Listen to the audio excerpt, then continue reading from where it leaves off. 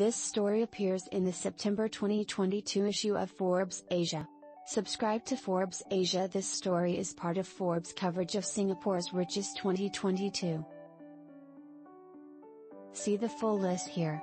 Many property developers pay lip service to taking a long-term view on their projects, and then there's Chua Thian Poh, founder and executive chairman of Singapore-based real estate firm Ho Bee Land.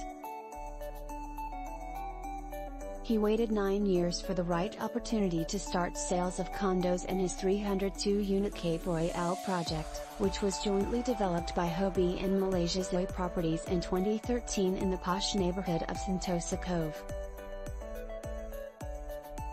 In July, he began taking offers and with some 25 units sold right off the bat, sales since then have so far been good with an additional 10 units sold. The three-bedroom apartments are fetching a median price of 4 million Singapore dollars, $2.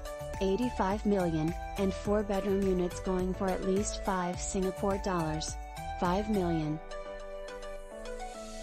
Even by the elevated standards of Sentosa Cove, one of Singapore's most exclusive districts, Cape Royale's location at its far end gives it some of the best views available, while also abutting a marina where condo owners can berth their yachts and chill out at a private club. We thought it's a uni.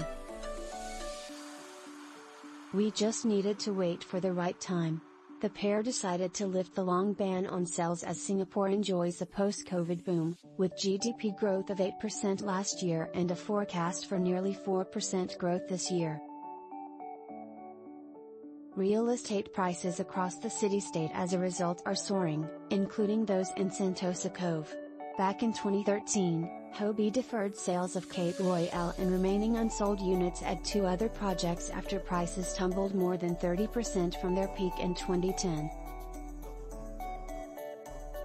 Properties in the area had sold above 2 Singapore dollars, 300 per square foot but the slump came after the government introduced a series of measures from 2010 to curb runaway property values.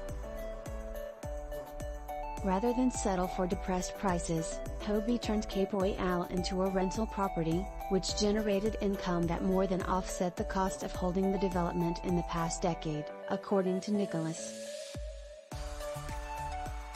Yet the father and son duo say they are in no hurry to sell the condos now since most are leased out, with occupancy at Cape Royale above 90%.